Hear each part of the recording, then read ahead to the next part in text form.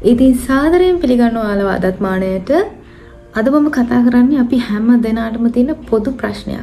ඒ තමයි මොනවද මේ සිහින කියන්නේ? ඉතින් මේ ගැන දැනගන්න එකතු වෙන්න මාත් එක්ක. ඉතින් අපි නින්දට ගියාම බොහෝ විට විවිධාකාරයේ සිහිනයන් දකිනවා. ඉතින් නින්දෙන් අවදි වුණාට පස්සේ අපිට සමහර සිහිනයන් මතකයි සමහර කොටස් වශයෙන් මං හිතන්නේ බොහෝ දුරට අපිට සම්පූර්ණම සිහිනයක් මතක තියෙන ඉතාමත් කලාතුරකින් එක වෙනවා ඇත්තටම අඩුයි. ඉතින් මේ වනතෙක් ඔබ ඔබේ ජීවිතය තුළ විවිධාකාරයේ සිහිනයන් දකින්න ඇති.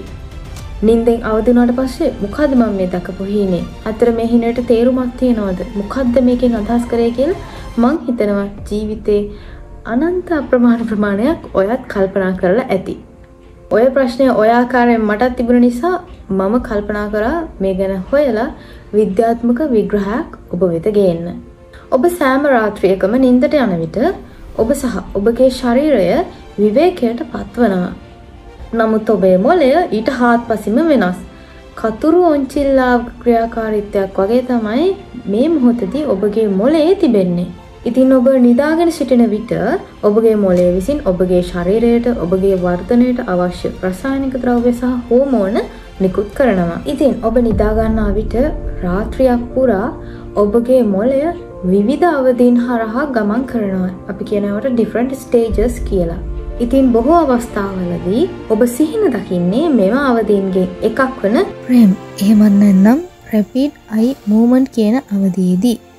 ඉතින් මෙන්න මේ අවදීදී තමයි අපගේ ඇස් විශාල වේගයකින් එහෙමෙහි ගමන් කරන්නට පටන්ගන්නේ. අප ඇස් අසා සිටින නිසා අපට ඒ දකින්න විදිහක් නැහැ. එසේනම් රසාත්ම ප්‍රශ්නය ඇයි අපි සිහින දකින්නේ. ඉතින් විද්‍යාඥයන් සහ දර්ශනිකයන් ශිෂ්ඨාචාරයේ ආරම්භය සිටම මේ වනතෙක්ම මෙම ප්‍රශ්නයට සිහින දකින්නේ ඇයි කියන ප්‍රශ්නයට පිළිතුරු හොයන්න උත්සා කරලා තිබෙනවා ඒ වගේම උත්සා කරමින් සිටිනවා. නමුත් තවමත් නිවැරදි නිගමනයකට පැමිණීමට කිසිම කෙනෙක් සමත් වෙලා නැහැ. නමුත් මේ ප්‍රශ්නය සම්බන්ධයෙන් ක්‍රියා කරන විද්‍යාඥයන් සමත් වෙලා තියෙනවා විවිධ න්‍යායන්. එහෙම නැත්නම් අපි කියනවා තියරිස් ගෙනහැර දක්වන්න. ඔවුන්ගෙන් සමහරක් පවසන්නේ සිහින යන දවස පුරා අප අත්විඳින සියලු සිදුවීම් සහ හැඟීම් සකසන ක්‍රියාවක් බවයි. එදස් නමසේ ගණන්වල මුල් භාගයේදී සිග්මන් ෆ්‍රොයිඩ් යෝජනා කළේ අපගේ බියකරු සිහින ඇතුළුව අපගේ සිහින අපගේ දෛනික සවිඤ්ඥානක ජීවිතයේ රූප එකතුවක් වන අතර ඒවට අපගේ යටිසිතේ ආශාවන් ඉටු කිරීමට සම්බන්ධ සංකේතාත්මක අර්ථයන් ඇති බවයි. ඉතින් මේ සරල වාර්තය දැක්කොත් මෙයින් පවසන්නේ අපගේ යටිසිතේ තිබෙන ආශාවන් තමයි මේ විදිහට සිහින විදිහට අපි දකින්න කියලා. ඒ වගේම ඔවුන් දක්වන තව න්‍යායක් තමයි ප්‍රාථමික සහජ න්‍යාය. ඉතින් මේ වන විට ඔබ විවිධාකාරයේ සිහින දකින්න ඇති ඒ අතරින් අනිවාර්යයෙන්ම ඔබ එක් පාරක් හරි දැකලා ඇති ඔබ විවිධාකාර ත්‍රාසජනක අත්දැකීමකට මුහුණ දෙනවා. හරියට ඔබ පස්සෙන් ඊටාම දරුණු සතෙක් පන්නගෙන එනවා. ඒ වගේම ඔබ විවිධ සටන්කරුවන් සමග සටන් කරනවා. ඉතින් මෙවැනි අවස්ථාවල ඔබ ක්‍රියා කරන හැටි ඔබ ඔබගේ දිවිය බේරාගන්න හැටි ඔබ සිහිනෙන් දකින්න ඇති.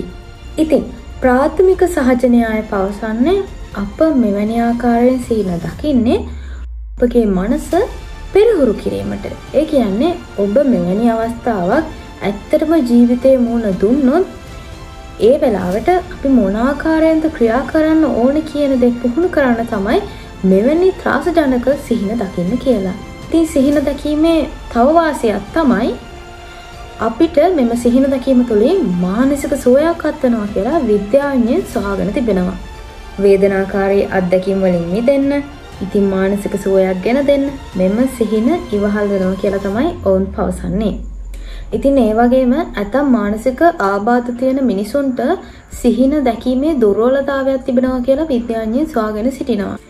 ඔවුන්ට නිසි ලෙස නින්ද යන්නේ නැත්තේ ඔවුන් සිහින දකින්න නැති නිසා කියලා තමයි විද්‍යාඥයෙන් පවසන්නේ. ඉතින් මම සිතනවා විද්‍යාත්මක වශයෙන් ඔබට අදහසක් ගන්න පුළුවන් වුණා කියලා ඇයි අපි සිහින දකින්නේ. ඉතින් නිවැරදිම නිගමනයක් අපි සිහින දකින්නේ ඇයි කියන ප්‍රශ්නයට දැනට ලබාගන්න නොහැකි වුණත් තාක්ෂණය දියුණුවීමත් සමඟ අපි දන්නවා අපගේ තේරුම් ගැනීම හැකියාව කාලෙත් එක්ක වැඩි වෙනවා. ඉතිං කවද හෝ මෙම ප්‍රශ්නයට අනිවාරෙන්ම විසිදුමක් සොයාගනීවී. ඉතින් එතකා අපි විවිධාකාරයේ සිහින දකිමු. ඉතින් මෙවැනි තොරතුරු දැනගන්න මගේ මානය චැනල එක සබස්ක්‍රයිබ් කරලා මාත් එක පැදිල සිටින කියලා ඔයාලට ආරාධනා කරනවා. අයිබෝවන්.